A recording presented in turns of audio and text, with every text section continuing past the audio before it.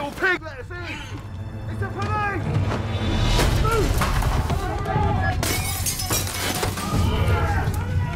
The third little pig is now being taken into custody, so the spotlight is once again shone on the grey area of homeowners' rights to protect their properties.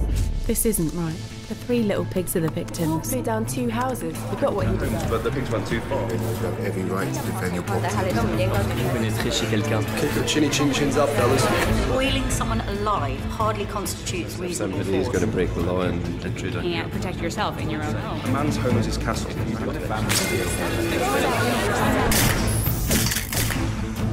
If tried to blow my house down, I'd do the same. I knew the wolf. There's no way he could have blown down those houses. He had asthma. But the wolf had asthma. So what's the truth about the pig's houses being blown down?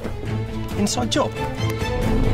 There's no reason why those two houses, one made from straw, the other from wood, should have collapsed. Not even a healthy wolf's huff and puff could bring them down. The three little pigs have confessed to conspiring to commit insurance fraud, framing the wolf in an attempt to cover their tracks.